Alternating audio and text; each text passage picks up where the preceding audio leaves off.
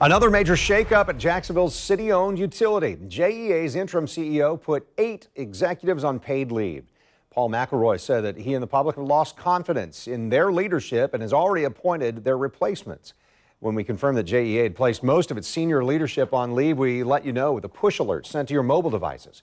News4JAX I-Team investigator Vic Micolucci spoke with a city councilman leading the investigation into JEA, and Vic is joining us live. And now a lot of people on the bench. Kent Rory Diamond, that city councilman who is in charge of the investigation for Jacksonville City Council, calls this the biggest financial scandal in the history of Jacksonville. But he wants to point out that not everyone on administrative leave is necessarily guilty of being part of this scheme. The fallout from the controversy over selling JEA continues months after the board fired CEO Aaron Zahn for his role in a plan that would pay himself and executives millions in privatizing the public utility.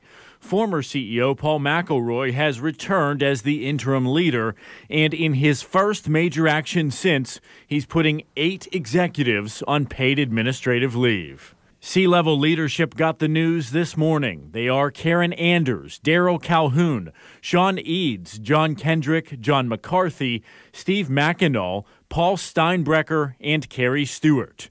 They'll join Chief Administrative Officer Herschel Vinyard, who was put on leave last month. This is the new temporary leadership team. Meanwhile, General Counsel Jody Brooks, Government Officer Kurt Wilson, and CFO Joe Orfano remain in their positions. Candidly, I was very surprised by some of the names on that list. Councilman Rory Diamond leads the City Council's committee that's investigating the failed sale of JEA. He says he saw this coming. The best I can tell is that Paul McElroy is getting JEA ready for the next permanent CEO. And in order to do that, he wanted to kind of clear the decks. McElroy telling those on leave this Nothing I've read or heard clarifies your role, real or perceived, in a positive light.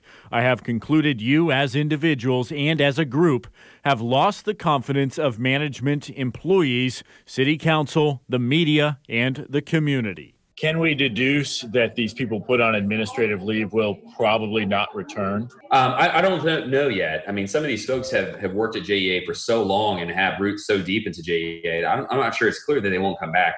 But my best guess is, yeah, that all those people will be replaced. I think we need to be fair, though. Some of the people on that list, uh, you know, had no association with the effort to sell JEA.